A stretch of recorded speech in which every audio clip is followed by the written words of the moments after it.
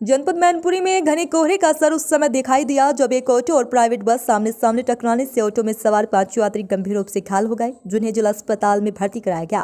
उक्त सड़क हादसा जनपद मैनपुरी के थाना एलाऊ क्षेत्र के मैनपुरी कुसमरा मार्ग स्थित नगला हरिराम के समीप घटी है। सभी घायलों को जिला अस्पताल के इमरजेंसी में भर्ती कराया गया, जिसमें दो मरीजों की हालत नाजुक देखते हुए उनको सैफई के आगरा रेफर कर दिया गया। घायलों के परिवार के लोगों ने बताया कि सभी सवारियाँ मैनपुर से कुसमरा जा रही थी। भैया अपना? देव कुमार देव जी ये आपको चोट लगी आपके साथ कई लोग घायल हो गए हैं। चार पाँच लोग थे ऑटो में। क्या घटना हो गई कैसे हो मैं तो बीच में था इसलिए बच गया।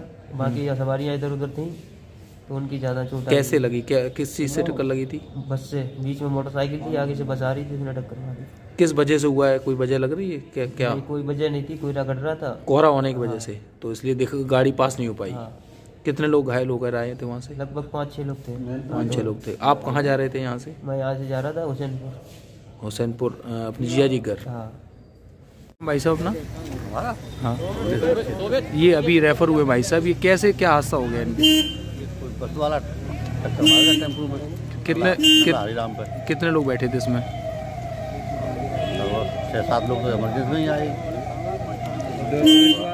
बाकी होंगे टेंपो कहाँ जा रहा था? टेंपो अलाउ उतरा मैनपुरी से अलाउ जा रहा हाँ था मैनपुरी से अलाउ ये पीछे तुम्हारी आगे टक्कर मारी सामने? सा- टक्कर मारा टक्कर मारी फ़िलहाल उसने। ये क्या कोहरे की वजह से हो, हो, होना हुआ? है कोहरा ही था।